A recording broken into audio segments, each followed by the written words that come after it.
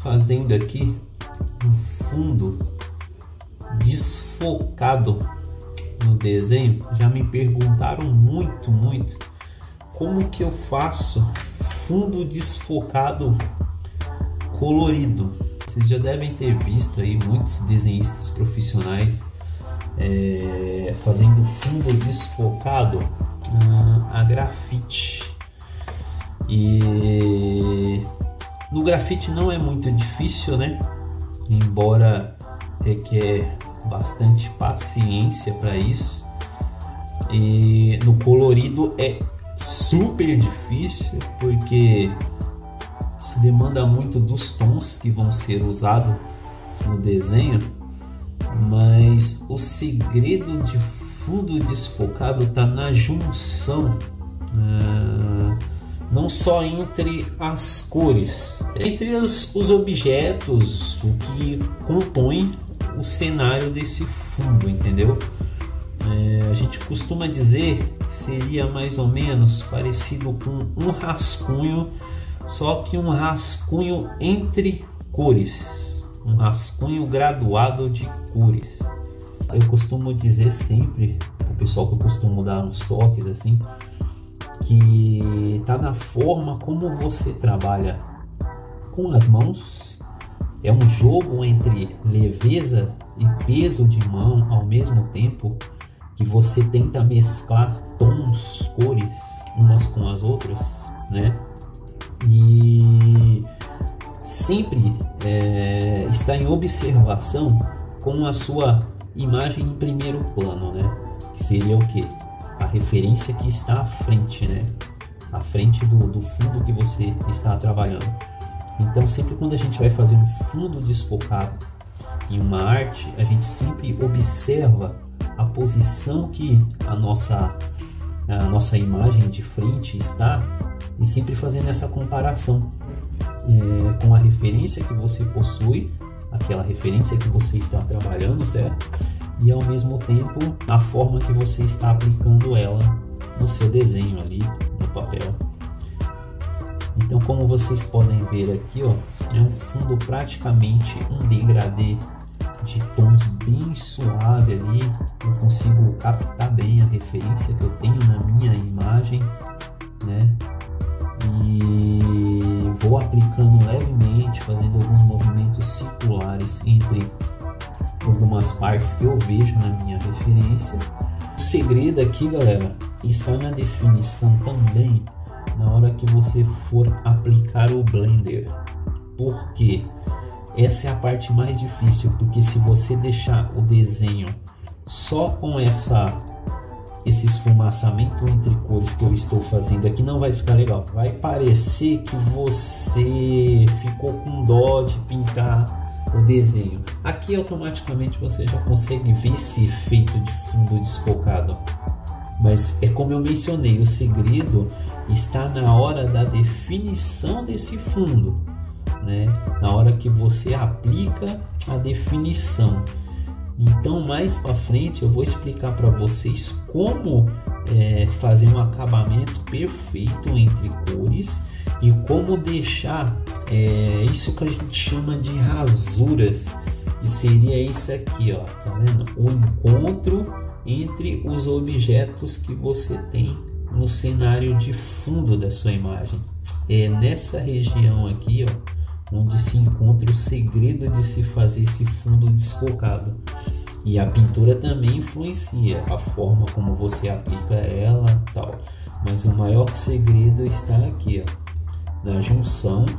E o mais interessante é que entre a imagem de primeiro plano, que é a nossa personagem, e o fundo por trás dela, essa união ela é perfeita é a mesma união que você faria aplicando um fundo e um desenho seu é, já não influencia tanto, entendeu? O que manda mesmo é a forma que você vai representar esse desfocamento da sua, da sua imagem. O trabalho fica muito bonito, fica super bacana quando você consegue esse resultado é, agradável, entendeu? Então mais para frente aí nas nossas aulas eu vou mostrar para vocês aí que show que fica. Um fundo desfocado quando você consegue aplicar ele de uma forma bem convincente no seu trabalho e fica uma parada muito bacana, muito bacana. Vocês conseguem ver, tá vendo? Como que tá o efeito desse fundo, né? Depois aqui a gente vai vir com um lápis de Blender unindo as partes mais lisas do desenho para que não apareçam muitos poros do papel. Lembrando, né, galera, esse fundo ele costuma ficar muito mais realista quando você usa um papel poroso, um papel granulado.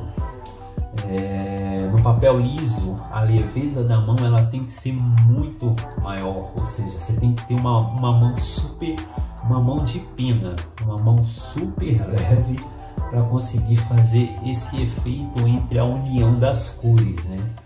Que é o, o segredo desse fundo desfocado bem aplicado. Então, eu acredito que para prática, treinamento, o ideal seria vocês usarem um papel granulado. É a melhor forma de vocês conseguirem um fundo desfocado bacana, até vocês ir pegando a técnica, né? É, a manha de como trabalhar é, com esse tipo de, de efeito para depois vocês aplicar de forma definitiva aí no trabalho de vocês. Então esse aí vai ser um tópico, tá? Das próximas aulas que eu vou disponibilizar aí no canal para quem tiver interessado em querer aprender a fazer fundos desfocados para os seus desenhos, para os seus trabalhos, que dá um outro charme, a diferença que você vê, né, galera? O desenho sozinho e o complemento, que seria o fundo. Eu, particularmente, eu gosto de usar fundo em todos os meus trabalhos. Eu vejo muitos desenhistas que só fazem o, a imagem de referência só e não costumam, enfim, trabalhar mais no desenho. Eu gosto de representar os meus trabalhos de acordo com tudo aquilo que eu tenho na minha referência de trabalho, entendeu? Acho que é uma forma melhor de você mostrar, é, apresentar o seu desenho ali. Enfim, é isso aí, galera. Tá? Acompanha a gente aí no canal, se inscrevam no canal, tá?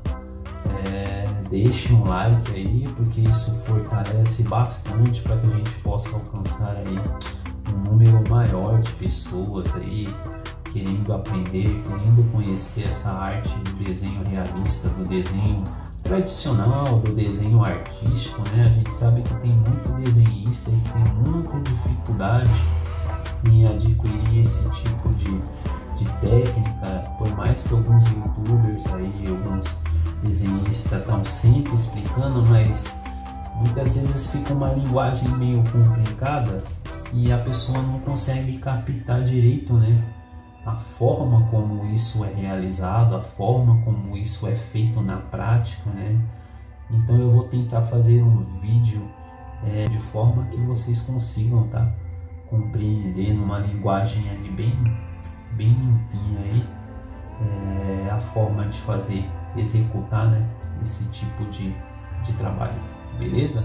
relacionados a tutoriais, dicas, técnicas, alguns macetes, né, alguns segredos que os desenhistas não revelam para vocês também, tá bom? E é só seguir a gente no canal aí, compartilha aí com seus amigos também que desenham. Não esqueçam de ativar o sininho, tá galera? Para receber novas notificações aí, tá? Sempre quando eu publicar algum vídeo, assim vocês já ficam sabendo é, dos vídeos, né? que a gente está publicando no canal. E é isso, galera. Tá bom? Estamos todos juntos aí em busca de um desenho realista perfeito. Bom, galera, e o resultado, o resultado fica esse. Ó, fica muito bacana, como vocês podem ver, ó, o fundo ficou bem desfocado mesmo. Para vocês verem alguns detalhes, tá vendo? Fica muito show, cara, muito show mesmo. Essa técnica que eu uso ela muito é, no grafite, só que do grafite ela tem uma pegada diferente, né? E mais para frente eu vou passar para vocês como é que faz esse fundo desfocado no desenho colorido, cara, que eu acho muito top, tá? Não é muito difícil assim, mas requer bastante treino, né? Bastante prática para você conseguir chegar no resultado desse. Porque o segredo tá na pintura também, né, galera? Na forma como você manuseia o lápis ali, enfim, o acabamento fica muito show. É, no momento que você já pega, já consegue pegar a prática da técnica, quando você vai aplicar ela no seu desenho, ela fica com uma textura muito bacana, muito bonita, entendeu? E na hora de usar o Blender também, porque tem isso, né? Se caso você for usar o Blender para fazer o acabamento no seu desenho, você precisa saber de que forma que você vai usar esse Blender para que ele não não tire esse foco de desfoque, né, da sua imagem.